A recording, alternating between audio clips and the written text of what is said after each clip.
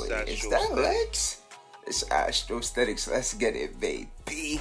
Jupiter and Gemini. I hope y'all ready because this is about to be so lit. Let's go. So look, coming off of that legendary total solar eclipse, we in the middle of an election year. We don't even know if there's gonna be an election this year. We're gonna get into that, but before we do, we gotta get to Jupiter and Gemini, the big jovial bright guy in the sky. Jupiter's gonna be going into Gemini May 25th, 2024. Now, Jupiter, it typically stays in the sign for 11 to 13 months, depending on its angle with the bright luminary, the sun. Jupiter typically stays in the sign for 12 months, and Gemini is a sign of communication, information, data, and speaking. And astrostetics shows us that Gemini is also about ideas. And in astrostetics, we look at Gemini as a sign of information mainly. Alright? Now, Jupiter and Gemini, astrostetics, we call Jupiter the big attractor. And we also call Jupiter the expansion particle. This is because Jupiter will stretch. You're going to hear everyone say that. Jupiter expands. In astrostetics, we say that Jupiter stretches because it can also deal with elongation, disillusionment, and positive distortion. Jupiter can also represent the success factor, one's point of abundance, how you going to tap into higher learning faculties, because Jupiter governs higher learning and cross-cultural transmission. Astrostetics shows us that. Jupiter can also rule liquids and the passage of them, the hips and the thighs. Astrostetics shows us that Jupiter governs short distance travel. When you think about short distance travel, I hope you don't think about planes. Okay, we're talking cars, automobiles, mechanics, engines, traveling on roads, bridges, suspension, mathematics, conductors, processing skills, even aspects of computers. Y'all remember, Gemini is information. Now, once again, in astrostetics, we look at Jupiter as the jovial bright one. Jupiter is the biggest planet, right? And sometimes the brightest, right? Between Venus and Jupiter. And we also know that Jupiter rules Sagittarius and Pisces. And make sure y'all check out our previous videos, and we're gonna build more on that in this. But Jupiter and Gemini will benefit the social dynamic. This is going to be a hot year for media and for the social atmosphere.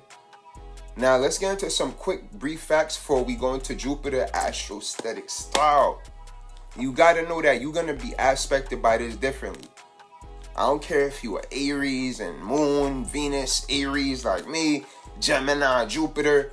It don't matter what your sign is, you're to be aspected by this completely in your own unique way. But for the collective, this highlights critical social changes in terms of how that collective is thinking. All of these isms and schisms in society get addressed, and Jupiter and Gemini addresses the perspective on social constructs. That's one of the main things we'll see that gets challenged. Because Jupiter and Gemini, it causes the people in local communities to expand on how they think. Gemini is mutable air. Jupiter governs two immutable signs, right? Pisces and Gemini. And we'll get to that shortly. Now, this also highlights abundant ideas and it also addresses things in the social sphere, right? Some of the statistics, technology, we mentioned cars, automobiles, all of these things. This deals with mental acuity and how people think. Make sure y'all pick up a copy of Astrostetics, baby. Now, remember, a Gemini, this is ultimately how we think and process information but Jupiter and Gemini, this is in the area of our localities. Gemini also deals with the early childhood education process, and it can also deal with the fundamentals of logic and rationality. It Gemini can also deal with airy, me- airy mechanisms. This is about mental acuity, and this is gonna cause us to expand on this in social matters. And you also going to see a lot of expansion in the area of education. Now, Jupiter is the planet of abundance, expansion, freedom, traveling, long distance travel. Jupiter, though, it's in detriment in Gemini. So there comes the lines of social gossip, right? The chatty patty talk. Aesthetic. Because this is dealing with an expansion on the airy mechanics. People gonna have a lot to say. But also intellectual ideas and expansion. But this can also cause social chatter. While this can cause the transmission of intellectual ideas. So this could even be small community groups migrating from one place to another. This can highlight, once again, media, gossipy stuff, right? Potential social shifts in how people are thinking and communicating. That's people are going to be more logic based. Y'all gotta know this. Now, new expansion and communication get rolled out, transportation, traveling, expansive interaction amongst social classes as well. And y'all, once again, this is 100% out of Astro Aesthetics. Please make sure y'all like, share, and comment on the video. I know this is epic, lit, legendary, okay? I appreciate y'all. Now, Jupiter, once again, this is the jovial, bright one. This can also highlight international financial dealings, cultural transmissions, leaps in communications, innovations with engines, right? Helicopters, planes to a degree, but engines. And also, this transit definitely, what I need y'all to pay attention to, purposeful communication. No pointless talking. If you're having a conversation, make sure it's creating something. And people definitely will will be more rationally based. We're gonna expand socially because people are gonna be big on thinking properly. So this can create massive conversation around things that are critical to society's values. Remember, we mentioned the isms and the schisms. Alright? And once again, small social groups of people gonna be migrating and moving and arranging their group dynamics. But this highlights, steady. y'all. Please avoid the chatty patty talk. This could create massive social firestorms that just can muddy up the thought process. But we could also get discoveries in mathematics, positive changes in algorithms, right? Positive changes in algorithms. And a lot of things in the social construct will get expanded upon once again. And once, look, this is big rectifying information. Because look, Astrostatic shows us that Gemini deals with data. Gemini is all about data transmission and it can also deal with speaking to the values of your loved ones and your emotions. So we can share potentially valuable information and come to critical breakthroughs and understanding the people that we communicate with on a day to day. But that's why you gotta avoid that firestorm. And we also gonna go soon into how each song can benefit the most from this transit. But I need y'all to like, share, and comment the video. Now let's get into some more planets. Cause Jupiter is gonna be there with Venus and the Sun as well. And we know that they're around the largest body in the solar system. So all of these planets, they're gonna rotate faster. And Jupiter is gonna go into Gemini with a lot of power because of astrostatic. Now, Jupiter, y'all, is in detriment in Gemini. Venus is also gonna go into Gemini a few moments after y'all get this video. Y'all gotta let me edit it. But after this, Venus is going directly into Gemini. And this allows us to create conversation around our values and relationship even more than we mentioned before. And it also can highlight fluctuation in our investments. And Jupiter strengthens Venus as it goes in there because it gets a dose of positivity from the jovial bright guy. And this can cause opens and dialogue and great social exchange with our partners. The Venusian one, Venus, in Gemini emphasizes diversifying your portfolio, adding some air to your investments and how you establish values. And remember, this is getting steady. boosted because Jupiter and Venus gonna be in Gemini together. But Venus and Gemini, where it's at, it can also deal with arms agreements as well. And this can highlight international financial agreements and shadowy transactions, alright? But some of that, not right now, in a few weeks, because it can also deal with international financial dealings and the movement of money. And we also gonna have Mercury and Taurus around there. and Mercury and Gemini shortly after. And this can affect our perspective on stability and time. Now, this will benefit what we said about purpose before establishing purpose with time and maximizing conversation. And this is us look, looking out for things like hidden subscriptions, hidden things that take away from your stability. You don't even notice it, but it adds up over time. Subtle investments and stuff like that that we don't notice. Things that take away on a subtle level. That's also the transit can highlight that. And it highlights upcoming conversations around the socio-economic aspect. We got Donald Trump, that's a Gemini, Biden's a Scorpio, right? But this is already interesting because once again, this is a leap year. We just had Kendrick and Drake. Kendrick Lamar is a Gemini Sun, Pisces Moon. Donald Trump is a Gemini Sun, Sag Moon. Drake and Joe Biden are both Scorpios. Although Drake is born closer to Libra, whereas Joe Biden and Future have the same birthday, so they're deep Scorpios. Well, this is significant because Hillary Clinton is a Scorpio as well. So Donald Trump been navigating against the Scorpio energy for the past few years, if we being for real, for real. But look, y'all, Joe Biden also has Uranus and Saturn in Gemini.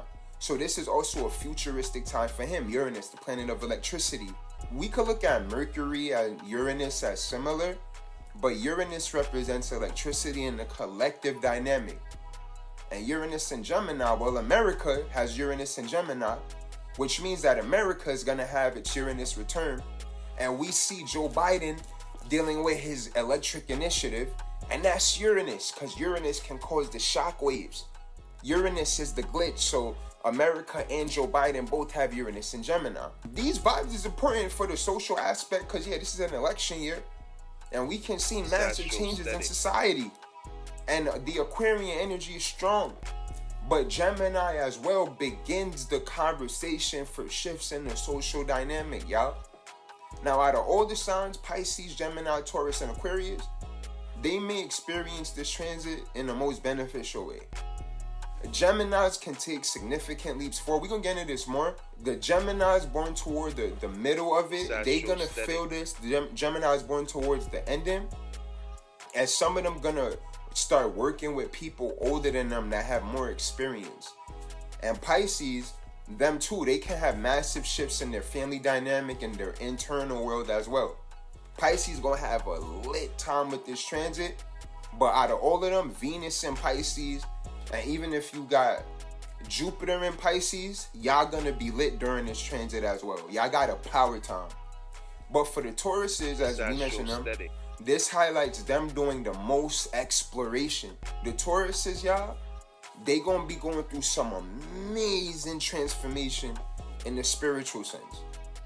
And they gonna be expanding their their horizons in the private world. Cause another factor there is also Neptune. Now, look, we also hear a lot of people trying to remix astrostetics, fake astrologers regurgitating a book and not trying to give us credit. But what we say is this Uranus and Neptune count, but for the collective. For the expanding world, we'll adhere to Uranus and Neptune. And in that case, Neptune is leaving Pisces, y'all. Neptune been in its home sign for 12 years, and it's finishing its 12 year cycle but now Jupiter is beginning its 12 year cycle in Gemini. All right? While Neptune is beginning a new cycle in Aries. And this can invent our sense of ourselves, our dreaming mechanic. Now, look, this is a great time too for the Aquariuses to convert data into wisdom. Studying opportunities for them will open. If you're Aquarius out there and you're thinking about going to school, if you having any interest in pursuing higher education or learning something very broad, this is a great time for the Aquarians out there. The, and look, yeah, I'm doing this type quick, okay? I'm giving y'all some sauce. The Can Stars, y'all gonna benefit beautifully, but y'all gotta keep y'all business to yourselves.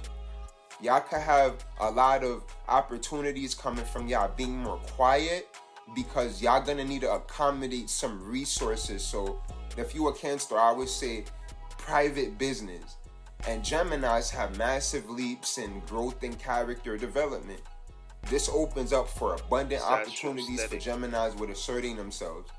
This is going to challenge Geminis to take bold leaps forward and make jumps in their initiatives. But listen, the Gemini transit, this does not welcome purposeless conversation at all. All right? This requires that the conversation that y'all have, y'all have to extract value from it. Now, for the Leos, y'all have shifts in y'all career and public representation, an expansion and growth in y'all social public networks. The Leos, y'all gonna be meeting some new friends and networking opportunities as well. And most importantly, positive idealization about the future. And this is gonna be y'all innovating yourselves. So y'all shouldn't be thinking about for now, but for opportunities that will arrive shortly after from the initiative that y'all taking now from associates. Great positive interaction for the Leos. Now for the Virgos, this is going to benefit Virgos once again, definitely in y'all career, but y'all got to have data commodified. For the Virgos in the career, it's going to be y'all long term plan of yourselves in relationship to y'all careers. But y'all have to be organized. Y'all cannot do anything off the cuff. Y'all have to have a defined idea of everything that y'all aiming to do. And this causes y'all to evolve with the definition that y'all need. Virgos have an innate need to define things. So this transit will promote them be free flowing and critical at the same time. But this promotes spontaneity because the Virgos gotta take action. This can cause career growth and cause y'all to push forward with how y'all define y'all careers and y'all idea of it. Especially if you a younger Virgo. Now the Libras, this is a creative transit for y'all. Creative endeavors, love, the romantic assertion, everything on the creative side. And the Leos, y'all got this vibe too. But for the the Libras, y'all gonna be creating maybe new children, new art, new romantic ideas. This is a beautiful transit for the Libras in terms of romance and asserting themselves. Scorpios, this is gonna cause a lot of psychological growth for y'all. All right, and this can be in the area of things like sex, relationship with y'all children, and also finances and what y'all value in other people. This can cause y'all relationship with others to grow, and this can also even lead to y'all mastering saving money and resources. And this can highlight Scorpio's interest in economics and banking and allow y'all to master um, opportunities from previous financial uh, from previous financial occurrences working with groups, right? Working with groups, opportunities can also come from working with steady. other people's interests, but definitely Scorpio is going to be saving a lot of money. Now, for the Sagittarius, exchanging ideas with others, y'all going to be doing the most game changing out of all the signs. For the Sagittarius, this is going to deal with y'all making new initiatives in styling and perception. This can cause the perspective that people have of y'all to change. So if you were Sagittarius rising out of all the signs, Sag and Gemini, y'all should be avoiding pointless chatter the most. Because this can cause completely new relationships. Y'all are gonna really understand the value of the people as even partners, everything outside of y'all sphere perception the Libra, the, the the Sagittarius, y'all gonna be expanding on it. I promise. Now for the Capricorns, this benefits y'all with y'all quick thinking skills and with critical matters in the area of health and routine and scheduling. This transit does not work without a schedule for the Capricorns. And it also highlights y'all tapping in with your health and nutrition and your diet for sure. Now, the Capricorns, please make a schedule right now if you're watching this video. Okay? And we understand y'all adjusting to new diet, new health initiatives, y'all working out, probably getting y'all look out of all the signs, the Capricorns probably getting their summer body yaddy right, okay? This just emphasizes y'all taking care of yourself on critical core matters, right? Now we spoke about the Aquarians at the beginning of this. The Aquarians, y'all have beautiful, beautiful initiatives going forward in the area of children for sure. In the area of children with the Aquarians, and especially learning what the Aquarians are learning it, their children will benefit from their knowledge. So, with the Aquarians, remember we mentioned turning data into wisdom. Out of all of the signs, the Aquariuses, they're going to be doing steady. the most with what they're learning, and they may be doing a lot of traveling and even maybe some spiritual trips and a lot of growing and tapping in with their inner sage for real, for real. And Pisces, everybody's favorite sign, right? Pisces, this this is gonna benefit Pisces in work and career, right? So if you're a Pisces and it's if if if if you making enormous strides with the career, this is gonna benefit y'all public representation and persona, but y'all gonna have to work a lot. This transit rewards Pisces in the career through hard work, but in the area of the home, steady this transit beautifully blesses Pisces. This transit beautifully blesses Pisces, especially Pisces born in, in the beginning of Pisces season and toward like the beginning of March. Right? So if you were Pisces, you were born you born in the beginning of March and maybe at like the very ending of March, this Jupiter in Gemini, it's gonna benefit y'all right? But understand, we also have Saturn and Pisces as well, okay? So we could see in about six, seven months, this would be maybe a, a Jupiter Saturn square, and this can adjust that dichotomy between the home and the family for Pisces, but this would be in about six to seven months, okay? And that's why y'all want to make sure y'all got Astro Aesthetics because just wanted to do something nice. So make sure y'all pick up a copy of Astro Aesthetics, the Aesthetics of Astrology, 500 page book.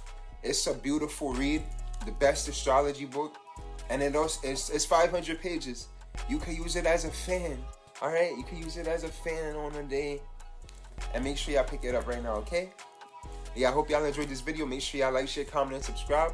Let me know what y'all think, and I hope y'all enjoy this. All right? Yeah. Peace.